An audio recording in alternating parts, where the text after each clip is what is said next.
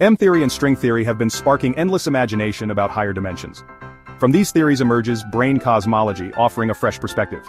This theory suggests that our universe is a four-dimensional brane, three spatial dimensions plus one time dimension, embedded in a higher dimensional bulk with other branes, each representing a separate universe. In this framework gravity can leak into other dimensions, that's why it's weaker than other forces. Dark matter and dark energy, they might be shadows from these extra dimensions too.